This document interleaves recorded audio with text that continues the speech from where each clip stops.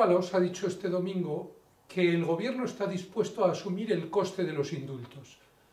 Cualquiera diría que se trata de un afán expiatorio, de un impulso masoquista eh, como el de crimen y castigo.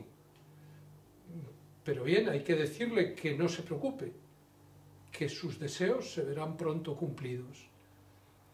Apenas habían pasado unas horas cuando la presidenta de la Asamblea Nacional Catalana, referente tanto de Esquerra como de Junts, ha proclamado que Cataluña es un país ocupado, que España es el enemigo y que hay que prepararse para la desobediencia y la confrontación.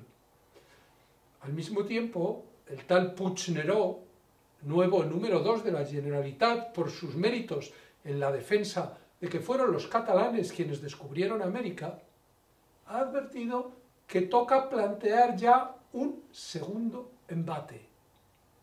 Y uno de los indultables, el plenipotenciario de Puigdemont, Jordi Sánchez, ha añadido que es a ellos a quienes hay que pedirles perdón.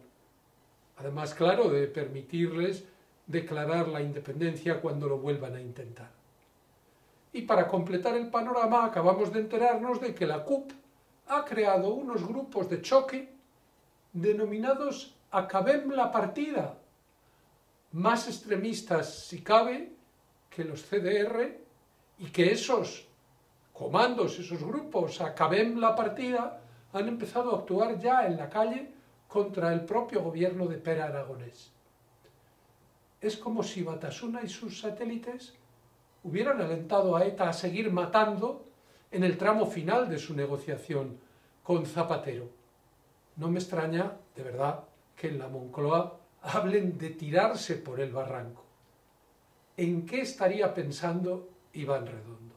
Sea por cumplir un compromiso o por estabilizar a su gobierno a base de desestabilizar todavía más al Estado.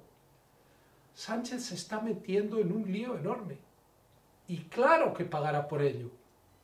Veremos si a plazos o al contado.